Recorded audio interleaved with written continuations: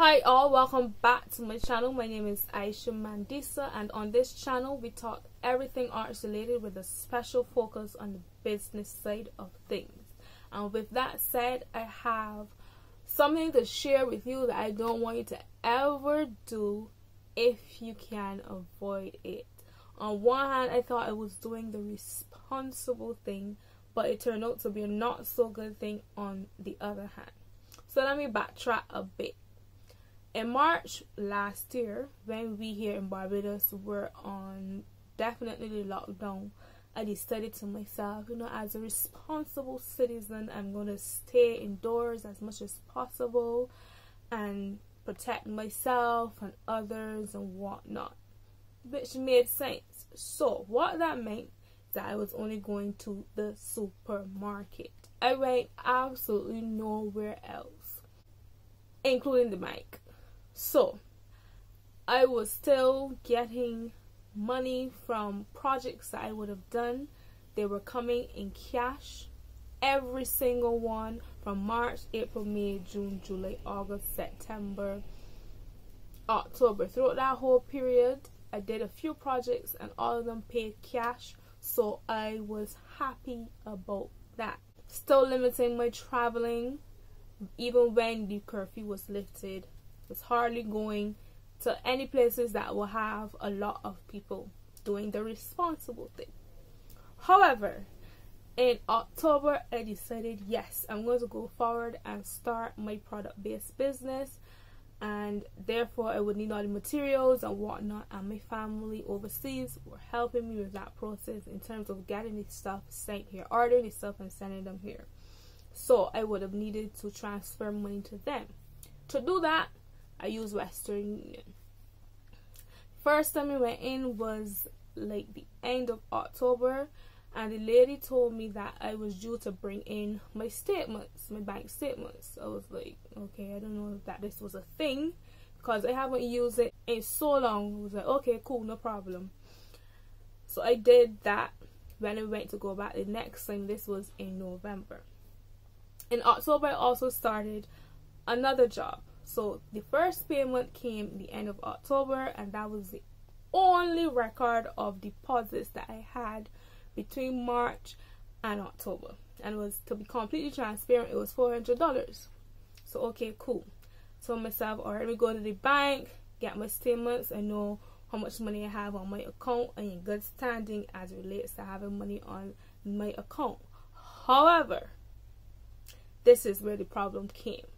And I went in and I, you know, give my statements to the lady. She was like, I see she's sifting through it. Like, okay, what's the problem what she could possibly be looking for? The lady was like, um, I see, you know, the money is here, but based on these statements, the only deposit you had within the last three months was four hundred dollars, and I was just like, oh, deposits. I was like, so explain because it's still lost. As in, I got money there, and like I got money to send to transfer what it is that you're looking for. So then she explained to me that what they do at that point, because you know things may have changed up till now, is that based on the last three months, they tally up the deposits and then divide it by three, and that would indicate how much money you're able to transfer. So let me break it down a little more.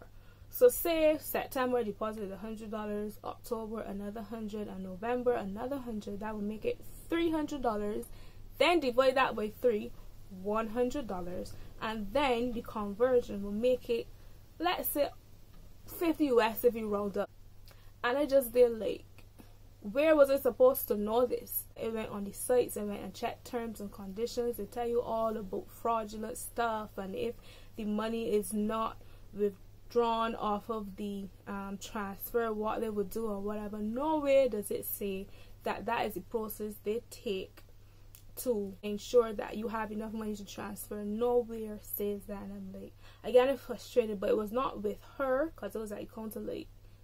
So if I go now and deposit money on my account, go back in the bank, get a fresh statement, and come back here, would it be able to transfer more? And she was like, yes. I'm like, whoa where was I supposed supposed to know this? Like, number one, why don't talk about these things, and there's nowhere to read up on it. and I don't like that because I'm a star person. I like to be prepared. If this is your process, I'm going to follow your process. If I don't let your process, I will go somewhere else. I hate surprises. Really, really hate surprises. So that's why I'm sharing with you. So if you are in business, whether it be product or service based, and these are things that you do in terms of having to transfer money, please be mindful of this, especially know that we are in quarantine and you want to limit movement like I did. Just make sure that you run the cash through the bank so they have it on the statement, even if you take it off three days later, just so that they know where the money is coming from in some way to help yourself. Because I was very, very frustrated and I was like, okay.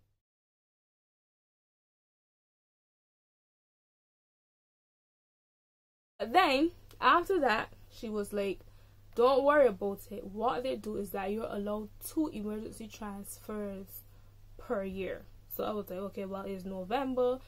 In next month, I'm probably not going to need any product. So I will get that started so I don't have to use up emergency transfers for this year.